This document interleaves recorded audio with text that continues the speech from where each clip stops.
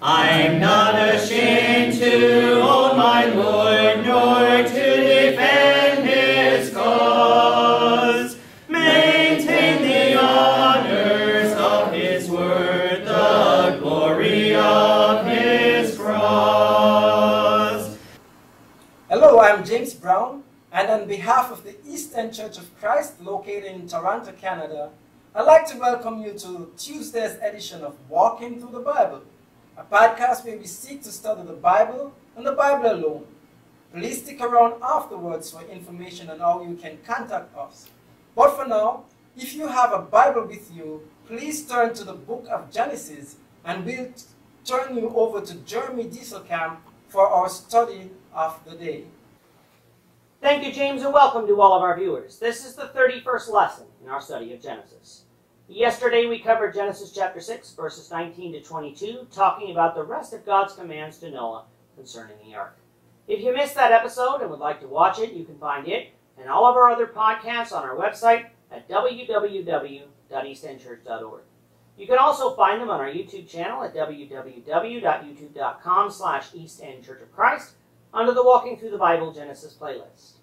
Today we're going to begin with Genesis 7 verse 1 and read through verse 5. Text that you'll see on the screen is from the English Standard Version, but you're welcome to follow along with any version that you have. So let's now read Genesis 7 beginning at verse 1. Then the Lord said to Noah, Go into the ark, you and all your household, for I have seen that you are righteous before me in this generation. Take with you seven pairs of all clean animals, the male and his mate, and a pair of the animals that are not clean, the male and his mate and seven pairs of birds of the heavens also, male and female, to keep their offspring alive on the face of all the earth.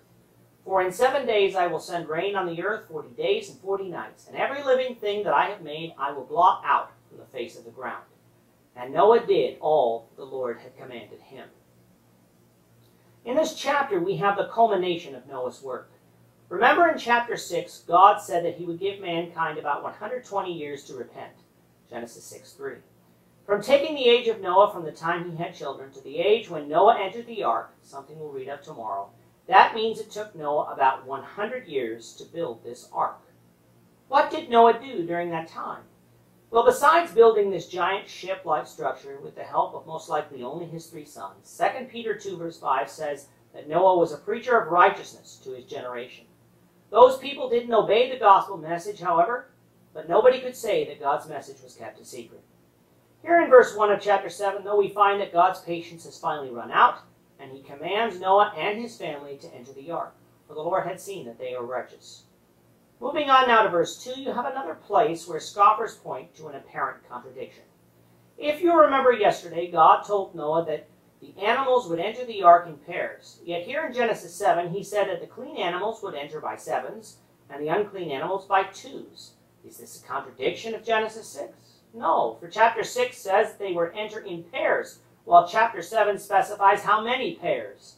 There is no contradiction if you read the accounts closely enough. There does seem, however, to be a disagreement between our English translations as to whether the Hebrew was meaning that seven pairs of clean animals were taken, in other words, 14 animals, or whether there were seven of every animal that was clean taken, seven in total. The reason for this disagreement is because the Hebrew manuscripts have the number 7 written twice for clean animals. In other words, two sevens.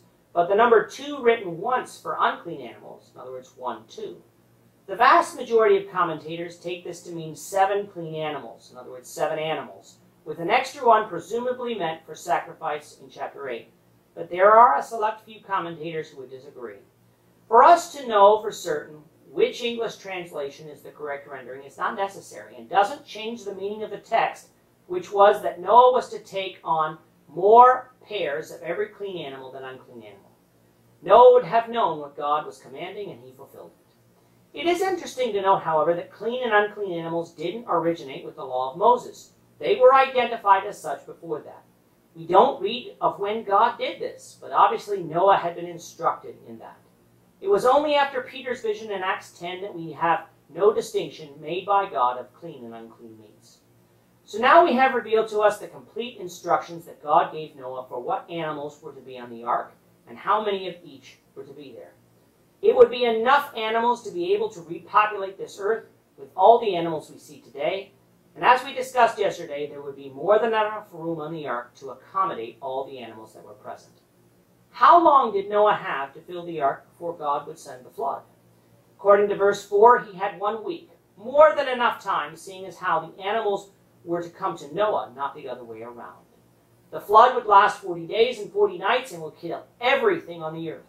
We'll discuss more of that tomorrow. But we'll conclude by saying that again, Noah did all that was commanded him.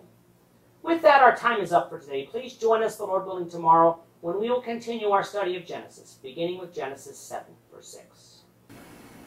Thank you, Jeremy. And to our viewers, we also thank you for watching.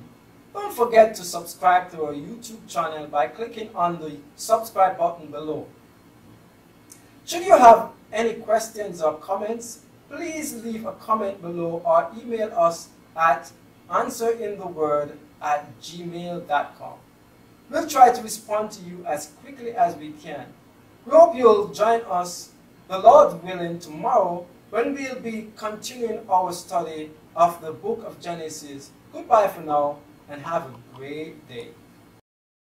I'm not ashamed to own my Lord, nor to